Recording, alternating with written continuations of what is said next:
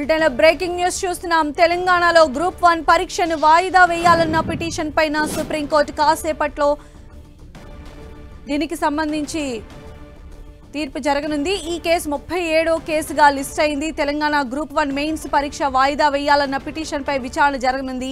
భారత ప్రధాన న్యాయమూర్తి justice DY Chandrachud justice JP Pardiwala justice Manoj మిశ్రాలతో కూడిన త్రిసభ్య ధర్మాసనం దీనిపై విచారణ చేపట్టనుంది. గ్రూప్ వన్ మెయిన్స్ పరీక్షను వాయిదా వేయాలని జీవో ట్వంటీ నైన్ రద్దు చేయాలని కోరుతూ పోగుల రాంబాబు అనే అభ్యర్థి దాఖలు చేసిన పిటిషన్ పైన విచారణ జరగనుంది. పరీక్షకు ముందే ఈ విచారణ జరగనుండడంతో ఉత్కంఠ నెలకొంది. రూల్ ఆఫ్ రిజర్వేషన్ పాటించకుండా ప్రిలిమ్స్ నుంచి మెయిన్స్ ఎగ్జామినేషన్కు అనుమతించడాన్ని సవాల్ చేస్తూ పిటిషన్ దాఖలైంది.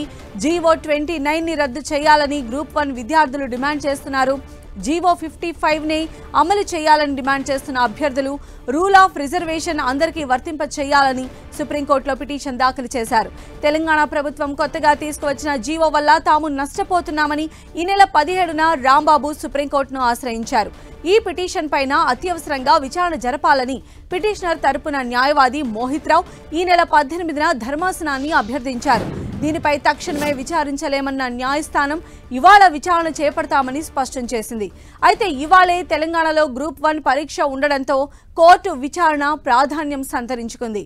ఓపెన్ కేటగిరీలో అర్హత పొందిన ఎస్సీ ఎస్టీ బీసీ మెరిట్ విద్యార్థుల సంఖ్యను రిజర్వ్ కేటగిరీ నుంచి మినహాయించవద్దని పిటిషన్ దాఖలైంది. రిజర్వేషన్ కేటగిరీ విద్యార్థులపైన ఇది ప్రభావం చూపుతుందని పిటిషన్లో పేర్కొన్నారు పిటిషనర్. సుప్రీంకోర్టు గత తీర్పులకు వ్యతిరేకంగా రాష్ట్ర ప్రభుత్వం వ్యవహరిస్తుందని కోర్టు దృష్టికి తీసుకువచ్చారు పిటిషనర్. ఈ పిటిషన్ పైన ఇవాళ సుప్రీంకోర్టులో వాదోపవాదాలు జరగనున్నాయి. సుప్రీంకోర్టులో తమకు న్యాయం జరుగుతుందని గ్రూప్ వన్ అభ్యర్థులు ఆశాభావం వ్యక్తం చేశారు. చేస్తున్నారు. ఇక గ్రూప్ వన్ పరీక్షకు ముందే సుప్రీంకోర్టులో విచారణ జరగనుంది. అభ్యర్థుల నిరసనలు రాజకీయ పార్టీల విమర్శల మధ్య సుప్రీంకోర్టులో దీనిపై ఎలాంటి తీర్పు వస్తుందోనన్న ఉత్కంఠ సర్వత్రా నెలకొంది.